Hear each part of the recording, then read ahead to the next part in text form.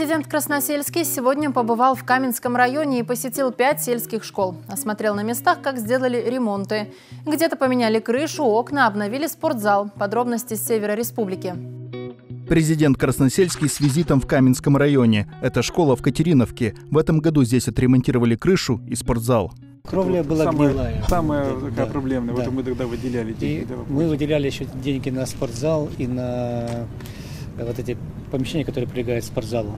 Вадим Красносельский обратил внимание на розы у школы. У каждого куста таблички с фамилией участника Великой Отечественной. Это жители села, которые не вернулись с войны. Ситуация, Алексей Иванович, подрядчик, это уже работники школы и директор. А это село Рашков, местная школа «Детский сад». Сюда ходят 122 ребенка. Здесь тоже ремонтируют спортивный зал. Рядом сохранилось старое здание школы. Есть идея создать в нем музей. Президент предложение поддержал. Там же история богатая, Рашка. И будет уголок Герой Советского Союза, и будет и всему остальному свое место. Посмотрите, что там вообще можно, да, например, просто своими силами Кровлю, все внутри убрали. Весь мусор, хлам, да, то есть подготовили его, да.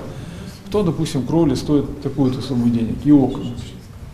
Первый этап, как всегда, да, кровлю, окна. Сделали, вопросов нет. Потом внутренние начинаете элементы выстраивать. В селе Подойма тоже работают строители. Во дворе школы укладывают плитку. Крышу над школьным корпусом отремонтировали. Заменят кровлю и над корпусом детского сада. В планах обновить спортплощадку на улице. Добрый день. Добрый день. Здравствуйте, детки. Здравствуйте. Здравствуйте, здравствуйте. Не замерзли?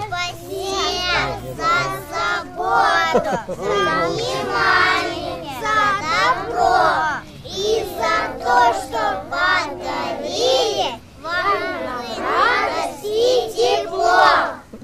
Спасибо. А ну скажите честно, как вас здесь кормят? Вкусно кормят? Дальше, в село Кузьмин. В садике 11 детей, в школе 41 ученик. По фонду капложений в здании заменили все окна и двери. Впереди ремонт спортзала, пищеблока, столовой. не работает. Да, да, да. Общая проблема. Просто А вы считали именно оборудование? Вот, э, сколько- Мы посчитали только ремонт оборудования, посчитали. Зависит от того, какое оборудование. Какие жарочные поверхности? Плитки, да. Мы, я смотрел, у нас вот в Лапинской школе купили две плиты обыкновенные, электрические, с своими духовками, им хватает. Это количество детей, я думаю, что здесь тоже может хватить.